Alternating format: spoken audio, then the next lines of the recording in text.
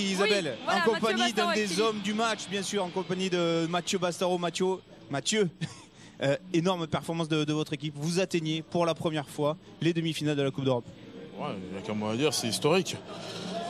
Ça, ça faisait euh, depuis, euh, depuis la qualification que toute une ville attendait ça. On leur a offert. C'est, voilà, personnellement, moi, j'ai jamais vécu des, une émotion comme ça. C'est, c'est, enfin, voilà, c'est énorme. Cette ville, ce club, c'est énorme. Et, voilà, je pense qu'aujourd'hui, voilà, on, a tout, euh, on a tout donné du, euh, envie de dire du 1 au 24 parce qu'on a, on a eu un, public à 24e homme euh, assez exceptionnel. Voilà, donc, ça continue maintenant direction Tukena, mais voilà, c'est super.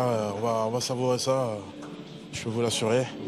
Et après, on va préparer ce match qui, est- qui est un peu comme un quart de finale contre Clermont la semaine prochaine. Voilà, c'est voilà, c'est magique, c'est énorme. Ce match, il a été compliqué au début. Votre équipe a, beaucoup subi au cours de la, première période. Qu'est-ce qui a fait que vous avez inversé la, tendance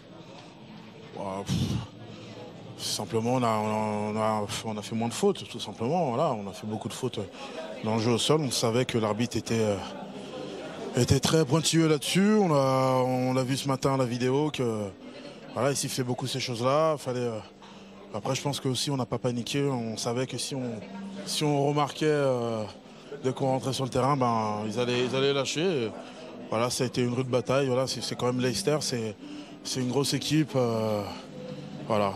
Ap- Après, un petit message à leur, euh, à leur entraîneur, ben, voilà, les mercenaires, ils ont gagné. Quoi. Voilà. Juste Mathieu, un mot sur votre cas personnel. Vous aviez un face-à-face à jouer face à Manu Tulagi. Euh, Il y avait de la revanche dans l'air et, et visiblement vous, vous avez un petit peu éteint. J'étais un petit peu, euh, un petit peu blessé un peu dans mon orgueil euh, sur tout ce que j'ai pu, euh, enfin pas, pas, lire parce que je lis pas, mais je lis pas la presse, mais tout ce que j'ai pu entendre, tu l'as qui par-ci, tu l'as qui par-là, il va me faire ci, il va me faire là. Voilà, j'étais un petit peu, euh, un petit peu, euh, on va dire vexé qu'on me prenne pour un, pour un crabos.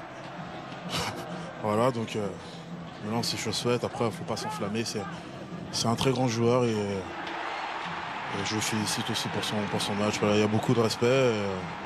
voilà, c'est, euh, c'est pas, je pense pas que le match se résumait à un seul duel. Il y avait, euh, c'est un, on, on l'a vu, hein, on a- ce match-là, on l'a gagné collectivement et c'est, super.